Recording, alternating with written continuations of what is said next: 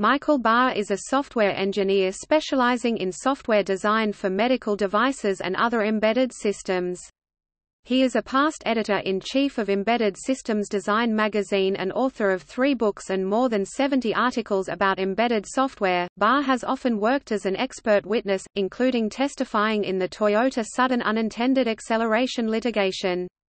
In October 2013, after reviewing Toyota's source code as part of a team of seven engineers, he testified in a jury trial in Oklahoma that led to a guilty by software defects Finding against Toyota. There are several technical articles that discuss the various electronic throttle control defects he testified were linked to unintended acceleration that caused deaths in Toyota Camry vehicles.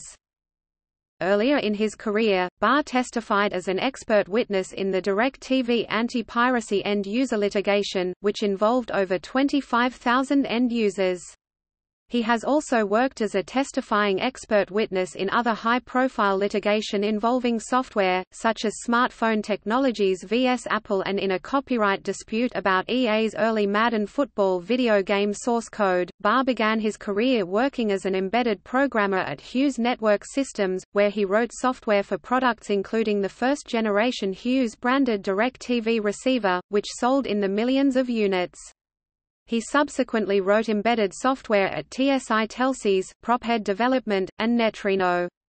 His three books are Programming Embedded Systems in C with GNU Development Tools, Embedded Systems Dictionary co-authored by Jack Ganssle, and Embedded C Coding Standard Barr studied electrical engineering at the University of Maryland in College Park, from which he earned a Bachelor of Science degree in 1994 and a Master of Science degree in 1997.